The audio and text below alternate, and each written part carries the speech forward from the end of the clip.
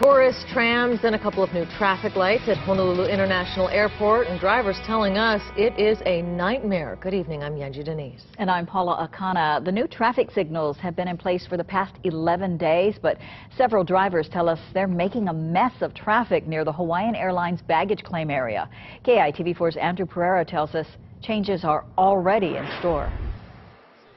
Synchronicity is the name of the game when it comes to stoplights, but drivers at Honolulu International say a new light there is out of sync and outrageous. Especially with the lunchtime, a lot of flight coming in, this whole area mixed up like a parking lot.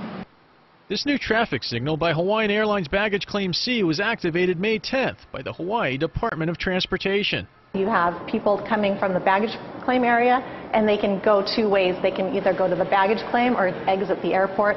So there's a lot of crossing, and the signals are there for, for safety reasons. An existing light allowing pedestrians to cross into the parking area was already here. Problem is, the new light and the old light are not working in harmony. When the first traffic light turned green, suppose this one supposed to turn green and then keep the traffic mo moving. But actually the first one turned green, this one as soon turn, turn red right away.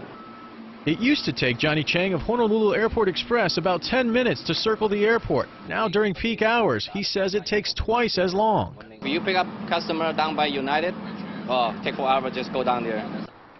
Ditto for taxi cab drivers who say the new traffic signal hurts business. When they wait too long, they give up, they go to the shuttle.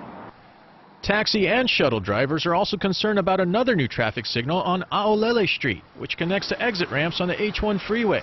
Right now, they fear the worst. You can see the lights blinking, but uh, I we don't know yet. Could be, you know, just like this one. The Department of Transportation admits the new traffic signal by Baggage Claim C needs tweaking. That process will start early Thursday morning. They'll be adjusting it back to flashing for now while they can figure out the correct synchronization. Andrew Pereira, KITV4 News. It's unknown how long it will take the Hawaii DOT to assess the situation and come up with a course of action. The new traffic signals are part of a $7.3 million project funded entirely by the state.